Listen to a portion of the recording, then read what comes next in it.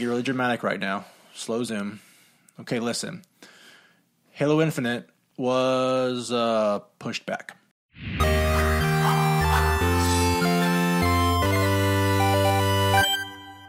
To uh, 2021, because, you know, we can't have anything great in this world.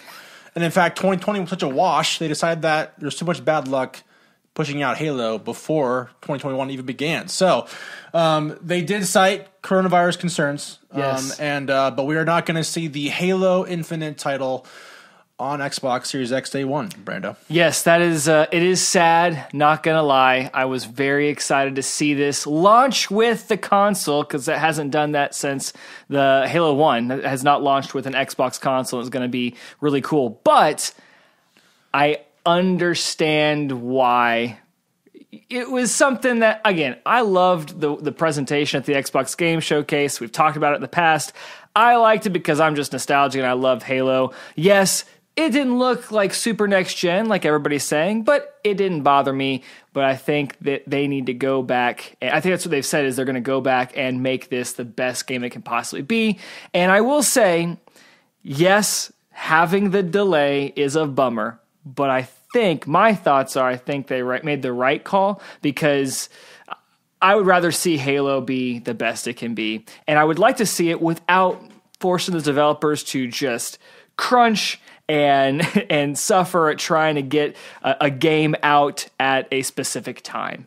Yeah, it'd be nice to have it launch, but at the end of the day, these are real people making this game. Let's make it the best it can be. Don't kill yourself over this. It's going to be okay.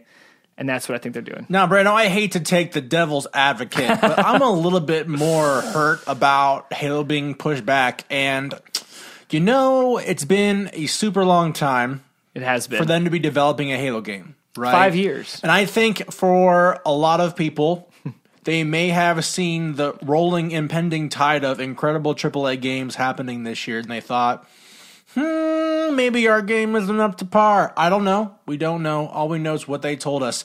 I know for every report about the crunch culture and all that jazz, there's some email being sent to a Microsoft employee somewhere saying, keep up that momentum. It's going to be great. So I, I'm not as I'm not as uh, I'm not as optimistic. Let me say about this as Sure. you, but I will say, um, you know what? A game's gonna happen. Game's gonna happen. I, can't I can't say I enjoy half baked games, but really I would have enjoyed at least like part of the half baked, like at least half the game would have been so great. would you have liked a a split where it's like, hey, if multiplayer was done, you want that slice. Listen, at I'm just launch? saying, give me something. Like So, so you want something. Does it does it have to be the full game or just anything at all? I, you know what? We always expect full games, but as games get bigger and bigger, you may have to adapt with how games are being made these days. And maybe Microsoft should have made this call a little earlier. What it what it was what it was coming down to for me was that back in May, Phil Spencer did warn us, "Hey, Yes. because of this year, games are going to get pushed back." And we're like, "No dip." Like we know that. Like we, we understand that. We understand that whole thing. But to have a game that's been five years in the making, you know, the last year, you know, I don't know how, how the game life cycle goes, but the last year in a five game, you know, cycle will probably is mostly like polishing out some touches, starting the promotion, getting things ready. And this is a really just like, you got to be kidding me right now. It is interesting too because I know that uh, in the past, Phil Spencer has said he's liked the games where they announce them and they come out later that year. They don't want that big three year um, gap between the first time you see the game and when it actually comes out. Um, but I will say, seeing the game for the very first time, just a few months before when it's supposed to come out, that's cutting it close. And I think that they're listening to fan feedback too. People did not like what they saw. That is Uh, true. Not not everybody, but a lot of people did not like what they saw. I think they're saying, "All right, we cannot." They did some focus groups, you know, they found out, wow, this game might actually tank a little bit in comparison to. And they need to stick the landing. They cannot fail at that because Halo 5's uh, campaign was uh, a little lackluster. People did not enjoy it and have that same. Um, uh, enjoyment as they did the rest of the series, so they had to come out firing on all cylinders. Yeah. So if they came out with a subpar game, it doesn't matter how maybe a year from now they might make it amazing. People are going to see that first impression and go, Halo's done. It's it did not launch with the expectations that it had. It's done. So I think that yes, this is bad bad for sure for for not just Halo but for Microsoft as well. And I'll, I'll talk about that in a second. But I think it might have been worse if they launched with a half baked game and people see that and play and they say this is awful or not not up to standards. I get it. No one likes a cold hot pocket, but listen, man, Master Chief was looking real good for a second there, which Yes. is which stinks because listen, you're right. Like they can't screw this up, but they're not helping anybody. And that goes to the next point, too. They are not helping anybody, including themselves, Microsoft, because this was the game to launch with the Series X. It was the standalone first per, uh, first party have to have it Xbox title. And now they have nothing for the launch of Series X. Do you think, and I'm going to ask you this, do you think that Game Pass alone, because that's what they're touting as like the best place to play all these games. There's going to be a thousand titles for the Series X because of Game Pass or whatever they said. Um, you can play all the Xbox One games, and everything. It's going to have the biggest launch library ever because of the old games you have. Do you think that Microsoft can do well with Game Pass as its flagship killer app for the Series X? I you know I think they can, but they have to they have to fulfill expectations with their audiences. And I'm not going to say that like I'm not going to say that this is the end all be all for Microsoft. I think I'm being a little bit dramatic, but let's be honest here. I was only going to buy the Series X for Cyberpunk and Halo Infinite. And the only reason why I wanted it for Cyberpunk was that I wanted to see it in its full resolution glory. And you know- and with that Cy- coming out on 1080p Xboxes, I have no incentive to buy Well, an Xbox. And to go even further, didn't Cyberpunk, didn't CD Projekt Red say that their Series X PS5 update isn't coming till later? Yes, you can play it on the Right. Series X, but all of the fancy bells and whistles aren't going to be out till later unless they've changed some things. That's what the last thing I heard said. So you may get to play it on there, but you may not fully appreciate the all the graphic the graphical uh, fidelity and all that stuff because it's just the uh, I feel like Denethor on Minas Tirith just screaming, Flee for your lives! I'm getting slapped in the face by Gandalf. Anyway, um, I kind of feel that way, but, you know, I. That's going to be, I, I would say, Brandon, with this kind of iteration happening, with this kind of news, you know, I'm not going to buy X, Xbox Series X day one.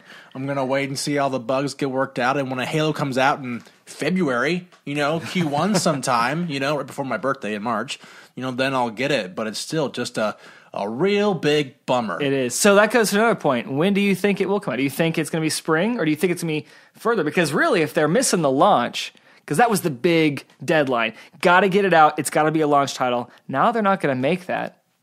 They could push it to fall 2021. They could take as much time as they wanted to to get it right. What do you think they're going to do? I, you know what? I think a lot of it depends on the strategy of Q4 sales for Xbox Series X. They're going to take a look at that bottom line and be like, we have got to get this game back on the market because the big thing with with Christmas on the way was getting that game out there for everybody to play. You know, getting you to buy an Xbox Series X day one. Um, and with that not happening now, you know, I can definitely see Halo Infinite being pushed back to the end of February. I think, if anything, I don't see a lot of games come out in January. It doesn't happen all that much. And I think between the end of February and beginning of March is when we're going to see um, Halo Infinite. If not, maybe a little sooner, but I doubt it. I will say with Microsoft pushing Halo to 2021, there's a lot of games that a lot of first party games are going to have in 2021. It looks like so it's going to be a big year for Microsoft. Then, although we've been saying for 2020 it was going to be a big year here too. Uh, I just hope that they can land on their feet. They did say that they really don't care how many Series X consoles they sell. Really, they want to get you into the ecosystem, into that. uh, Not what the um, shareholders are saying.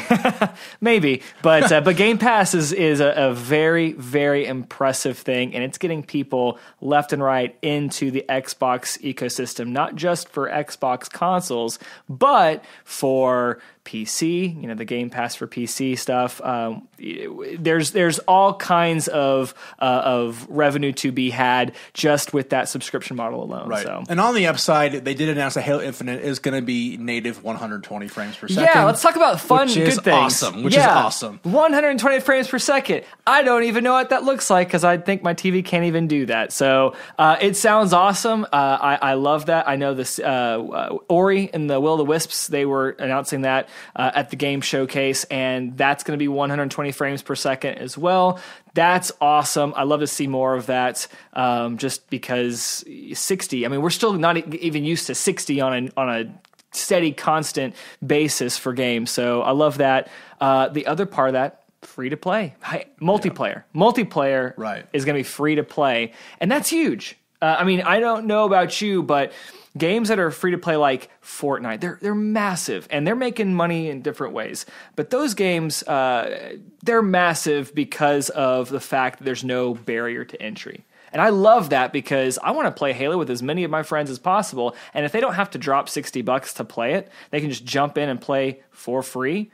That's awesome. It's just everybody come on play Halo with us. So I think that is a really cool thing uh, that they announced. Uh, so there is good news about uh, Halo. It's just sad that we have to wait a little bit longer to You can read all the novels. There are like 125 of them. No, there's like 60. But anyway, read the Fall of Reach. That's all you need to worry about. That's a good one. Yeah, it's a good one. one. Good classic. Guys, with that, we really appreciate you guys tuning in for this latest episode of the Gaming Casuals podcast. Guys, if you liked it, please subscribe. Listen, guys, we have 95 subscribers. I'd love to get another five. And the reality is that is that my mom hasn't even subscribed. So we would really appreciate if you subscribe. That way I wouldn't feel so bad about my mom not subscribing. And not only that, but follow us on Instagram at the Gaming Casuals. We post there all the time. Be sure to check us out there as well as our YouTube channel if you're listening on the podcast side of things, we're on Apple iTunes, we're on Google, we're on Spotify, wherever podcasts are distributed, we're there. And those of you on YouTube, let us know in the comments below. What are some games you're playing right now? What do you think about Halo? We'd be interested to know. Let us know down below. We'll see you guys next time on the Gaming Casuals. See ya.